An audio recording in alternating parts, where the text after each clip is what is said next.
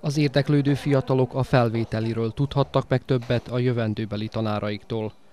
A cserediák programról, a használható könyvtári állományról, valamint a kollégiumi elszállásolás lehetőségeiről is informálódhattak. Hasznos információkat kaptam, és több, majd utána nézek mindenféle könyveknek, amikről hallottam, és majd mindennek, mindent elolvasok, meg nyelvtamból azt a könyvet, amit mondtak, azt kivettem a könyvtárban, mert sajnos a suliba hát nem használunk semmilyen könyvet. Szükségünk van mindaz, mindezek a információkra, hogy föl tudjunk készülni, és bejussunk arra az egyetemre, amelyre szeretnénk menni. Rajsli Ilona egyetemi tanár szerint fontos, hogy minél többen iratkozzanak felső oktatási intézménybe, így növelve az értelmiségiek számát a vajdasági magyarság körében az oktatói munka mellett itt a tanszéken egyéb más tevékenységekre is számíthatnak a leendő hallgatóink, tehát itt részt vehetnek beszédművészeti produkciókban, a kreatív műhely munkájában, tehát ha vannak írói, szerkesztői ambícióik, tehát sokféle tehát versenyeken vehetnek részt, akár itt nálunk, akár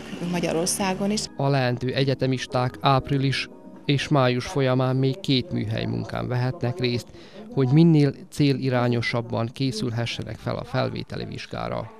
Az idén az újvidéki magyar nyelv és irodalom tanszékén 25 hallgató kezdheti meg ősszel a tanulmányait az állami költségvetés terhére, 5 hallgató pedig önt költségen iratkozhat egyetemi képzésre.